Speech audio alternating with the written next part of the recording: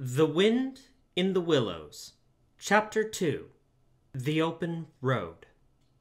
Ratty, said the mole suddenly, one bright summer morning, if you please, I want to ask you a favor. The rat was sitting on the river bank, singing a little song. He had just composed it himself, so he was very taken up with it, and would not pay proper attention to the mole or anything else. Since early morning he had been swimming in the river, in company with his friends the ducks.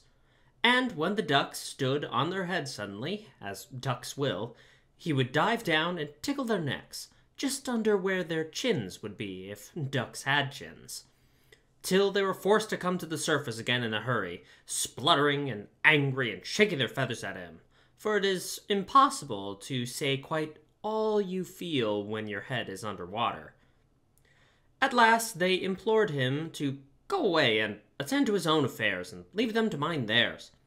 So the rat went away and sat upon the river bank in the sun, and made up a song about them, which he called Duck's Ditty. All along the backwater, through the rushes tall, ducks are a dabbling, up tails all. Ducks' tails, drakes' tails, yellow feet a quiver, yellow bills all out of sight, busy in the river. Slushy green undergrowth where the roach swim, here we keep our larder, cool and full and dim. Everyone for what he likes, we like to be. Heads down, tails up, dabbling free. High in the blue above, swifts whirl and call. We are down dabbling, up tails all. I don't know that I think so very much of that little song, Rat, observed the mole cautiously. He was no poet himself, and didn't care who knew it, and he had a candid nature. Nor don't the ducks neither, replied the rat cheerfully. They say, why can't fellows be allowed to do what they like when they like and as they like? instead of other fellows sitting on banks and watching them all the time and making remarks and poetry and things about them. What nonsense it all is. That's what the ducks say. Ah, so it is, so it is, said the mole with great heartiness. No, it isn't, cried the rat indignantly. Well, then it isn't, it isn't, replied the mole soothingly. But what I wanted to ask you was won't you take me to call on Mr. Toad? I've heard so much about him, and I do so want to make his acquaintance. Eh, why, certainly, said the good natured rat, jumping to his feet and dismissing poetry from his mind for the day. Get the boat out, and we'll paddle up there at once. It's never the wrong time to call on Toad. Early or late, he is always the same fellow. Always good tempered. Always glad to see you. Always sorry when you go. He must be a very nice animal, observed the mole, as he got into the boat and took the sculls, while the rat settled himself comfortably in the stern. He is indeed the best of animals, replied Rat. So simple, so good natured, and so affectionate. Perhaps he is not very clever, we can't all be geniuses. And it may be that he is both boastful and conceited, but he has got some great qualities, has Toady. Rounding a bend in the river, they came in a sight of a handsome, dignified old house of mellowed red brick, with well kempt lawns reaching down to the water's edge. There's Toad Hall, said the rat. And that creek on the left, where the notice board says, Private, no landing allowed, leads to his boathouse, where we'll leave the boat. The stables are over there to the right. That's the banqueting hall you're looking at now. Very old, that is. Toad is rather rich, you know.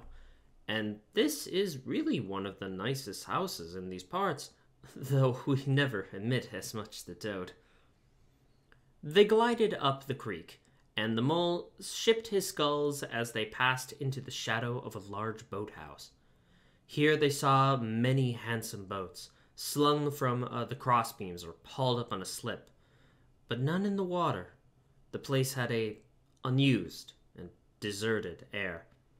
The rat looked around him. I understand, said he. Boating is played out. He's tired of it, and done with it now. I wonder what new fad he has taken up now. Come along, and let's look him up. We shall hear all about it quite soon enough. They disembarked and strolled across uh, the gay flower decked lawns in search of Toad, whom they presently happened upon resting in a wicker garden chair, with a preoccupied expression on his face and a large map spread out on his knees. Hooray! he cried, uh, jumping up on seeing them. This is splendid. He shook the paws of both of them warmly never waiting for an introduction to them all. How kind of you, he went on, dancing around them. I was just going to send a boat down the river for you, Ratty, with strict orders that you were to be fetched up here at once, whatever you were doing. I want you badly, both of you. Now, what will you take? Come inside and have something. You don't know how lucky it is you're turning up just now. Let's sit quiet a bit, Toady, said the rat, throwing himself into an easy chair, while the mole took another by the side of him and made some civil remark about the toad's delightful residence. Finest house on the whole river, cried a toad boisterously. Or anywhere else, for that matter, he could not help adding. Here the rat nudged the mole. Unfortunately, the toad saw him do it, and turned very red. There was a moment, painful silence. Then Toad burst out laughing. All right, Ratty, uh, he said. It's only my way, you know. And it's not such a very bad house, is it? You know you rather like it yourself. Now, look here, let's be sensible. You are the very animals I wanted. You've got to help me. It's most important. It's about your rowing, I suppose, said the rat with an innocent air. You're getting on fairly well, though you splash a good bit still. With great deal of patience and any quality of coaching, you may. Oh, pooh! Boating! interrupted the toad in great disgust. Silly boyish amusement. I've given that up long ago. Sheer waste of time. That's what it is. It makes me downright sorry to see you fellows, who ought to know better, spending all your energies in that aimless manner. No, I've discovered the real thing, the only genuine occupation for a lifetime. I propose to devote the remainder of mine to it, and can only regret the wasted years that lie behind me, squandered in trivialities. Come with me, dear Ratty, and your amicable friend also, if he will be so very good. Just as far as the stable yard, and you shall see what you shall see. He led the way to the stable yard accordingly, the rat following with a most mistrustful expression.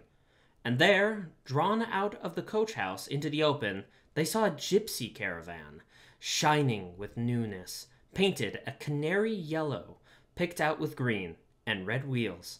There you are, cried the toad, straddling and expanding himself. There's real life for you, embodied in that little cart.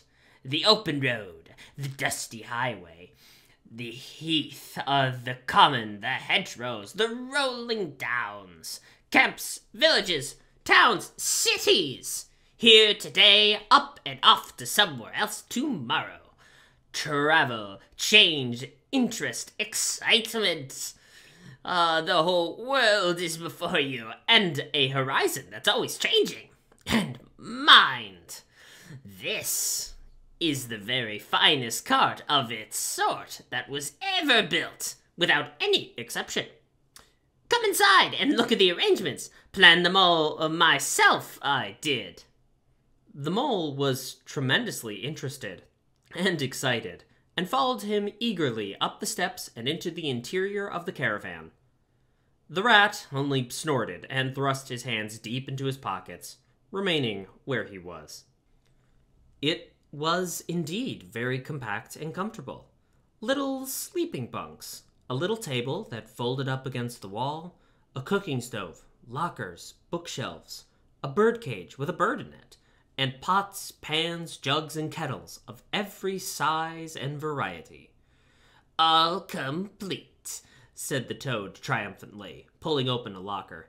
You see, biscuits, potted lobster, uh, sardines, everything you could possibly want. Soda water here, baccy there, letter paper, bacon, jams, cards, and dominoes.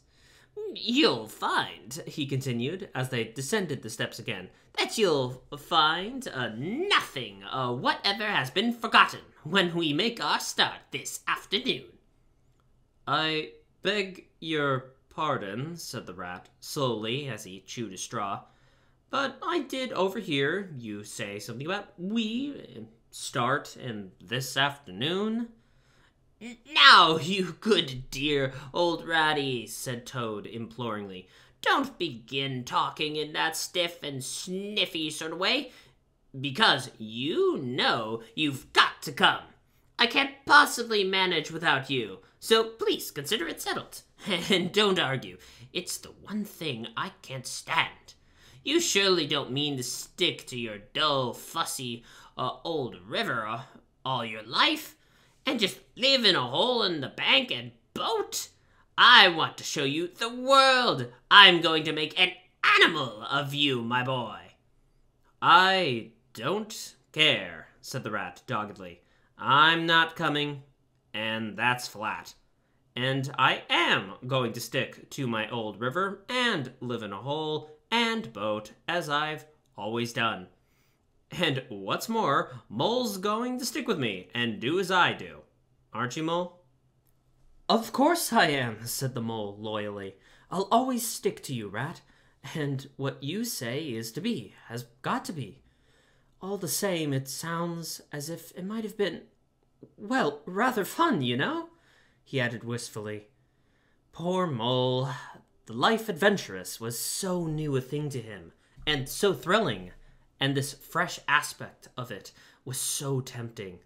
And he had already fallen in love at first sight eh, with the canary colored cart and all its little fitments.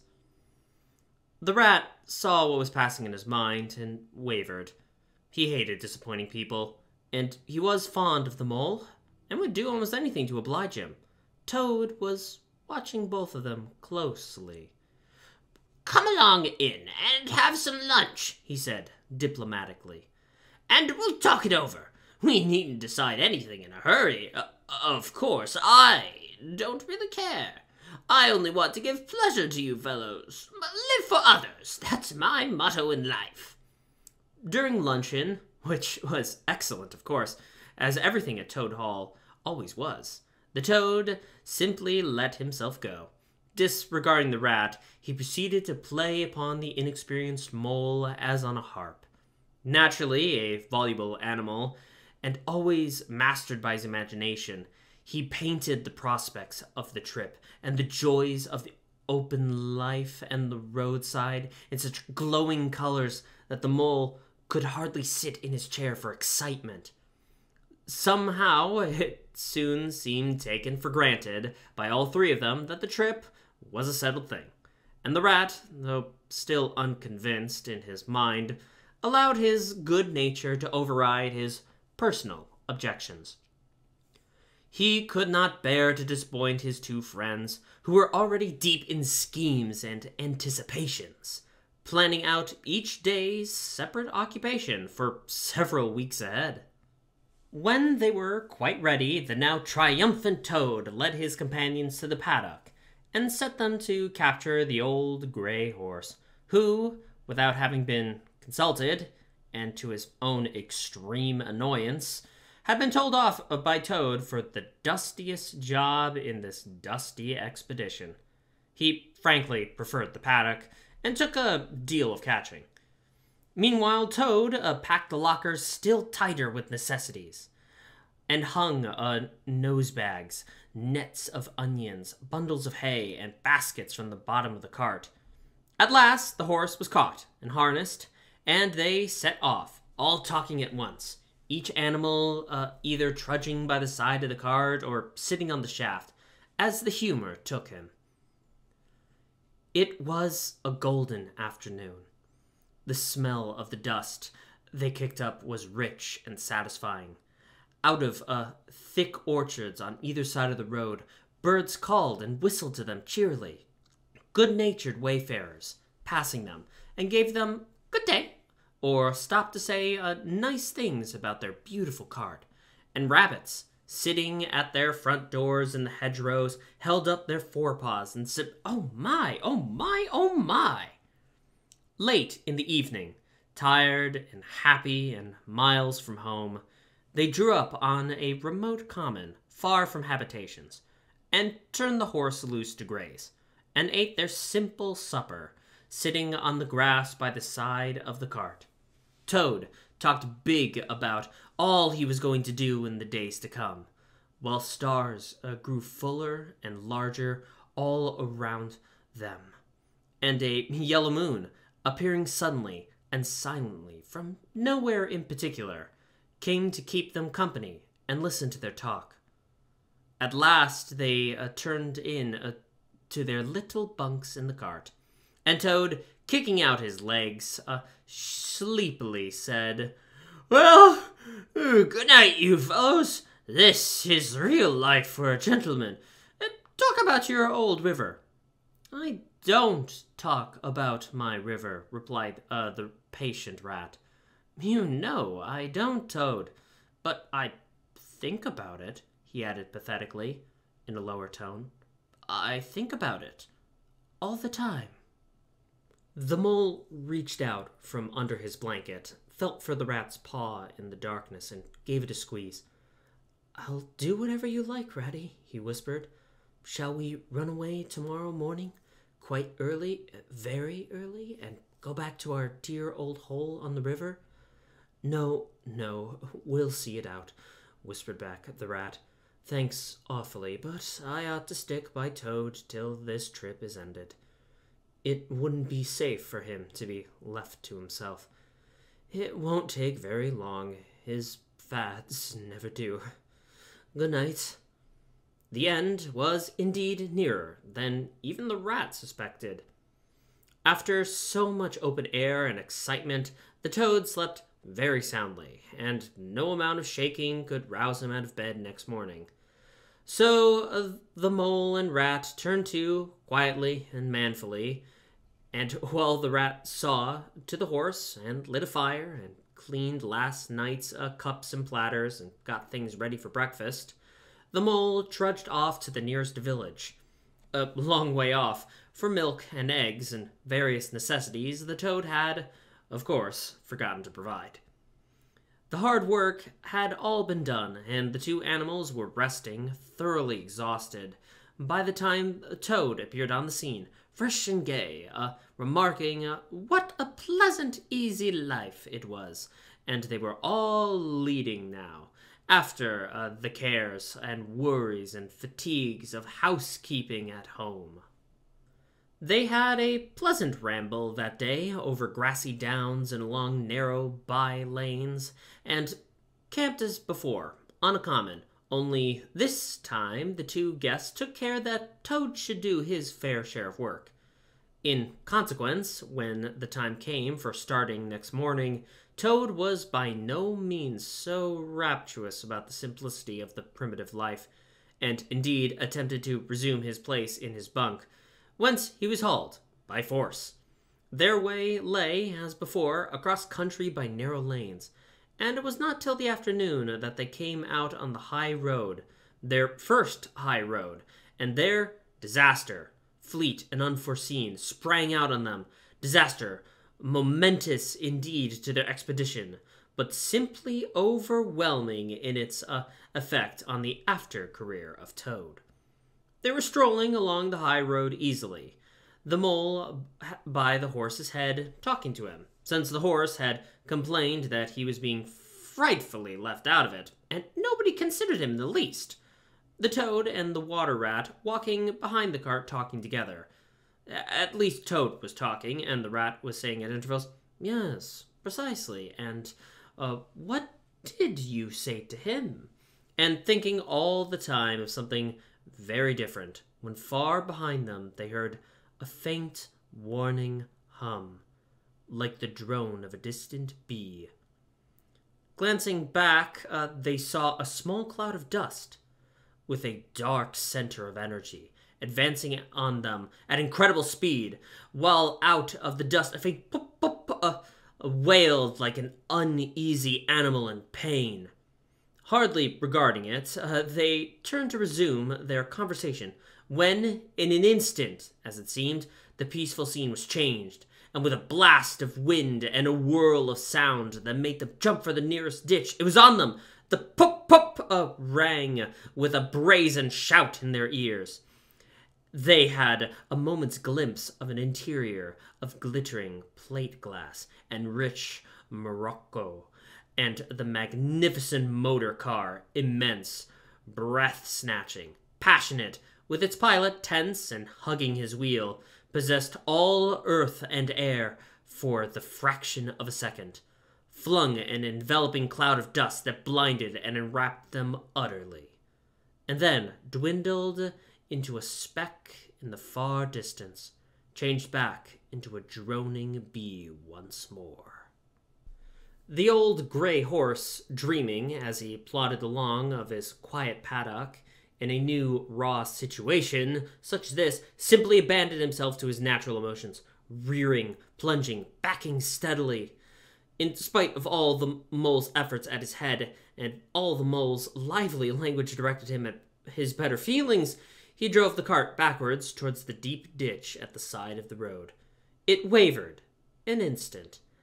Then there was a heart-rending crash, and the canary-colored cart, their pride and their joy, lay on its side in the ditch, an irredeemable wreck. The rat danced up and down uh, in the road, simply transported with passion. You villains! he shouted, shaking both fists. You scoundrels! Highwaymen, you, you road hogs! I'll have the law on you! I'll report you! I'll take you through all the courts! His homesickness had quite slipped away from him, and for the moment he was the skipper of the canary colored vessel, driven on the shoal by the reckless jockeying of rival mariners. And he was trying to recollect all the fine and biting things he used to say to masters of steam launches when their wash as they drove too near the bank, used to flood his parlor carpet at home. Toad sat straight down in the middle of the dusty road, his legs stretched out before him, and stared fixedly in the direction of the disappearing motor car. He breathed short. His face wore a placid, satisfied expression, and at intervals he faintly muttered, Pup, pup, the mole was busy trying to quiet the horse, which he succeeded in doing after a time. Then he went to look at the cart, on its side in the ditch. It was indeed a sorry sight. Panels and windows smashed, axles hopelessly bent, one wheel off, sardine tins scattered over the wide world, and the bird uh, in the birdcage sobbing pitifully and calling to be let out. The rat came to help him, but their united efforts were not sufficient to right the cart. Uh, hi, Toad! they cried. Come and bear a hand, can't you? The toad never answered a word or budged from his seat in the road, so they went to see what was the matter with him.